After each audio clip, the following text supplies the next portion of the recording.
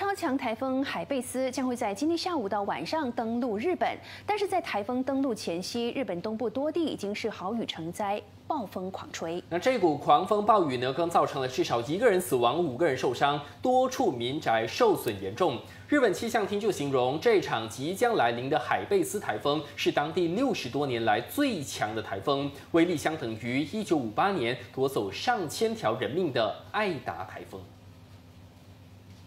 被日本气象厅形容威力堪比六十年前造成一千两百多人丧生的爱达台风，如今超强台风海贝斯已步步逼近，预料在今天下午到晚上登陆日本关东区。台风还没来，当地已经出现暴风雨，日本东部多个地区豪雨成灾，夺走了一条人命，同时造成五人受伤。而部分地区的天空呈现一片暗紫色，犹如恐怖灾难即将来临的感觉。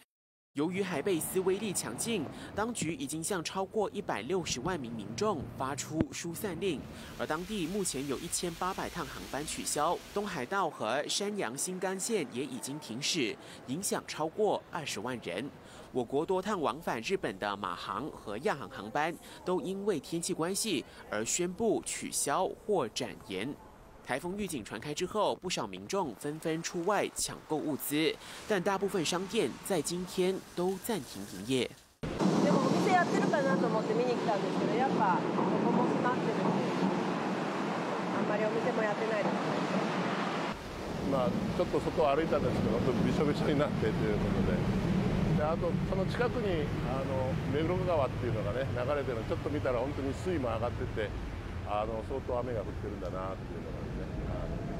东京迪士尼乐园也不敢松懈，宣布今明两天关闭，是开园三十六年以来首次因为台风而全天关闭。气象厅指出，海贝斯影响日本最严重的时间会在周末这两天，尤其是在星期六，日本东西部都完全处在强烈暴风圈内。我国外交部今天也发布旅游提醒，呼吁即将前往和居住在日本的民众注意安全。同时，日本官方也呼吁大家在台风来袭之前做好灾前准备，确保自身安全。NTV 七综合报道。